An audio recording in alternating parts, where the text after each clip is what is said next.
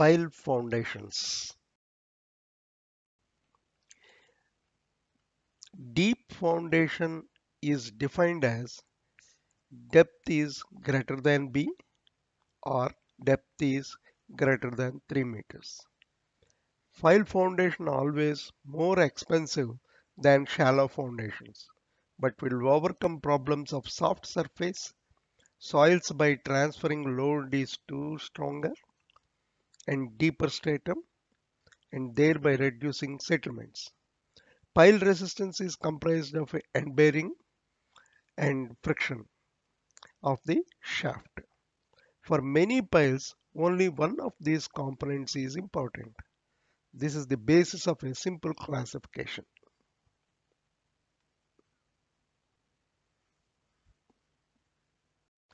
End bearing piles. End bearing pile rests on a relative firm soil. The load of the structure is transmitted through the pile into this firm soil or became base of the pile bears the load of the structure. This type of pile is called end bearing pile as it is shown in the figure. Most of the piles used are end bearing piles.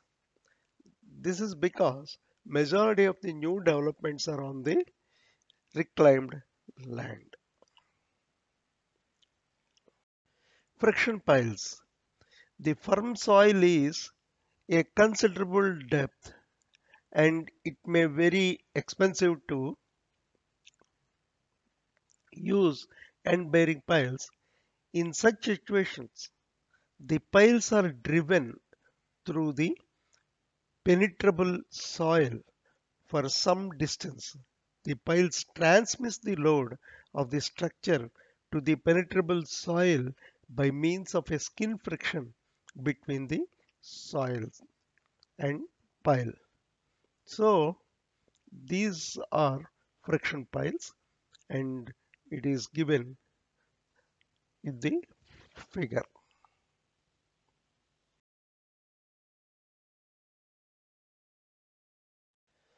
Apart from the above, there are another type of pile is there. The pile installation procedure varies considerably and has an important influence on the subsequent response. These categories of piles are classified by method of installation as below. Large displacement piles and small displacement piles and replacement piles. Naturally that is displacement piles and replacement piles. Displacement piles means they encompass all solid driven piles including precast concrete piles, steel or concrete tubes closed at the lower end. Small displacement pile they include rolled steel section such as H piles, open and tubular piles. The displacement piles means they displace the soil to the sides and they penetrate into the ground. Replacement piles, they are formed by machine boring, grabbing or hand digging. Means the a the piles are uh, constructed in a bore. Means the soil is removed and a hole is made and in that reinforcement is put and then concrete is laid. That is replacement. Replace the soil. Displacement displace the soil.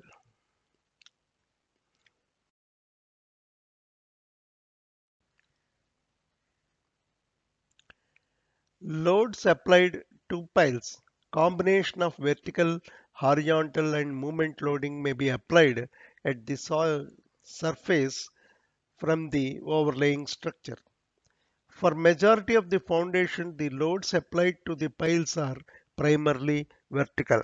For piles in jetties, foundations for bridge piers, tall chimneys, and offshore piled foundations, the lateral resistance is an important consideration. The analysis of piles subjected to lateral and moment loading is more complex than a simple vertical loading because of soil structure interaction. pile installation will always cause change of an adjacent soil properties, densifying and etc. Sometimes is good, sometimes it may be bad too. Modes of failure. The soil is always failure by punching shear. The failure mode of pile is always by buckling failure mode. Displacement pile means precast pile. Precast pile means the pile is casted on the ground and is driven into the ground. So the pile material can be inspected for quality before driving. Construction operation effect by groundwater. There is no effect of groundwater on the pile construction and can be driven very long lengths. If the length is required, we can attach and go ahead with the another pile. Construction operation not affected by groundwater. Soil disposal is not necessary. So we need not throw the soil outside. That is the advantage. Disadvantages may break during driving. During driving, the pile may break. Noise and vibration problems. Because of driving uh, equipment, there is a huge noise as well as vibration and cannot be driven in condition of low headroom. And noise may prove unacceptable. Noise permit may be required. Vibration may prove unacceptable due to presence of sensitive structures utility installation or machinery. They may be get damaged. Replacement pile. It is cast in situ pile. First remove the soil make a bore and then put the reinforcement then put the concrete and like that. Less noise or vibration. There is no noise or vibration a huge vibration and all nothing. Equipment can break up uh, practically all kinds of obstruction. Before driving the boring itself we can break everything and make it clear and can be installed in conditions of low headroom and no ground heave depth and diameter can vary easily. You can see the depth and diameter can easily vary. Uh, these are the advantages. The disadvantage concrete cannot be inspected after installation. Once if it is concrete is poured, you cannot uh, inspect the concrete. Liable to squeezing or necking. Somewhere there may be not filling in the the hole itself so you cannot. Raking bored piles are difficult to construct. Drilling number of pile groups may cause ground loss and settlement of adjacent structures. Cannot be extended above ground level without special adaptation. These are disadvantages of the replacement pile ultimate capacity of axially loaded single pile in a soil estimated by designer based soil data and somewhat empirical procedures. It is common practice that the pile capacity be verified by pile load test at an early stage such that design amendment can be made prior to installation of the project pile. The satisfactory performance of pile is in most cases governed by the limiting acceptable deformation under various loading conditions. Therefore, the settlement should be checked. Basic the ultimate bearing capacity QU of pile may be assessed using soil mechanics principles. The Capacity is assumed to be the sum of skin friction and end bearing resistance. That is Qu is equal to Qb that is bearing resistance and Qs is the surface frictional resistance minus W that is the weight of the pile where Qu is total pile resistance, Qb is the end bearing resistance and QS is side friction resistance, etc. General behavior, shaft resistance fully mobilized at small pile movement. That is base resistance mobilized at large movement that is QU is equal to QS plus QB minus W is given. The ultimate magnitude and strain dependent development of these resistances greatly depend on the type of soil and the method of installation. QF is equal to 0 to L pi d Ca sigma Vk plus tan delta into dz. Total integral is that where L is the length of embedment of the pile, Ca is the adhesion between pile and soil, sigma V is the effective vertical stress in soil at a depth z, K is the coefficient of friction between soil and pile. While ultimate point resistance can be written as QP is equal to AB area of the pile and at tip and CNC plus sigma VB into NQ plus half into D gamma into N gamma. This is almost all equal to the shallow foundation equation. C is the cohesion of the soil and at the pile at the pile base AB is the area of the pile at the base and sigma VB is the effective vertical stress at the level of the base. And gamma is the unit weight of soil and CNQ and gamma is the bearing capacity factors. For finding the load carrying capacity of the pile, when piles are driven to refuse, pile load tests are not required. Then the records of the driving resistance for full depth of penetration are obtained for every pile driven. One of the popularly used dynamic formulas, these are all dynamic formulas, is engineering news formula applying with factor of safety of 6. The allowable loading carrying capacity of the pile is Q allowable is equal to WH by 6 into S plus C. QA is allowable load in the kilonewtons. W is the weight of the hammer. The H is the drop of the hammer in centimeters. And S is average set of pile per blow.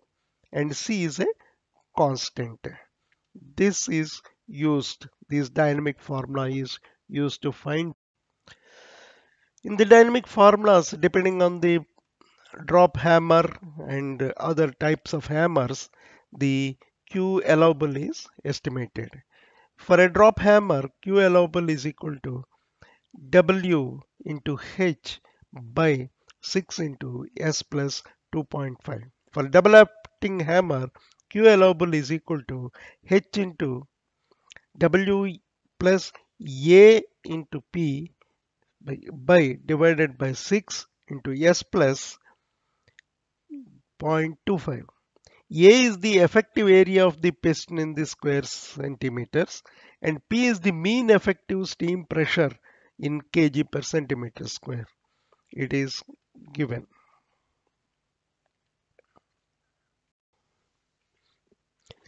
Generally accepted that the dynamic formula do not provide reliable predictions. The more comprehensive version of dynamic formula is modified Hiley formula. R is equal to that is the resistance ultimate driving resistance in tons is equal to W into H into mm, that is S plus C by 2. So use the factor of safety 2.5. W is the weight of ram or after in kgs and H is the effective height of free fall of the ram centimeters. S is the final set per blow in centimeters.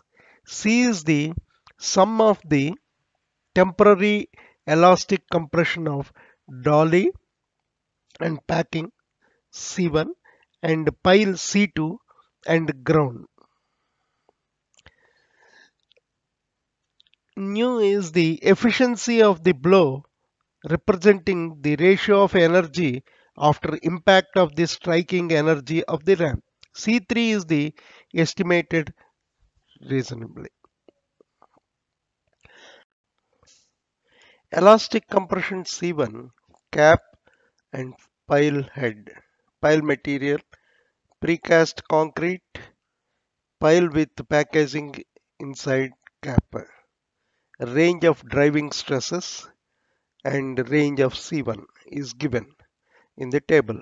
Accordingly, we will use elastic compression C2 of the pile is given is equal to QU into L by AE, whereas A is the average cross-sectional area of the pile, E is the Young's modulus, and L is the embedded length of the pile. So elastic compression C3 of the soil is the average C3 may be taken as 0.1 like that. It is explained self-explanatory. Efficiency of the blow is given as for a drop hammer 1 single acting hammer 0.75 to 0.85 double acting 0.85 like that it is given. Or efficiency can be calculated by w into p into e square by w plus p. P is the and P is the weight of the pile, anvil, helmet and pound in tons. And E is the coefficient of restitution. Coefficient of restitution E for wooden pile, wooden cushion, hammer on the concrete pile, cast iron hammer on the concrete pile and steel pile are given 0.25, 0.32, 0.40, 0.55 like that and that can be used in the efficiency, finding the efficiency of the blow. The curves shown loading versus settlement for both behavior frictional pile as behavior of end bearing piles. Piles founded in a dense soil and piles founded on a strong stratum. Both are given for verification. After a single pile, the group of piles will come into picture. How the group will affect a single pile design and a group pile, how they will interconnected. Bearing capacity of a group piles, group efficiency is there, piles on the rock, consolidation settlement of a group piles, etc. are to be taken. Group piles there are nine group piles. So D D means center to center of the pile and uh, B is different and that is center to center of the pile plus that extra B and L. D is the pile diameter, small d is the spacing between the piles. So whereas L U is equal L group is equal to n minus 1 into D plus 2 into D by 2 and B is also same thing it is given for a group piles. If the group piles are very nearer certainly there is a overlap of stresses it is shown in the figure that overlap of stresses will cause overstressing in the soil and there may failure also. So the efficiency of the group piles will be less than the total number of piles into individual piles efficient pile strength. If the block failure occurs, the bearing capacity of the piles is PB is equal to BR into LR into CNC plus 2 into BR plus LR into L in C dashed. C is undrained cohesion at the tip of the group. BR is width of the group, LR is the length of the group, L is the length of the pile, NC is the bearing capacity factor, and C dash is the average cohesion between surface and depth L along the periphery of the block. PB is ultimate bearing capacity of the block.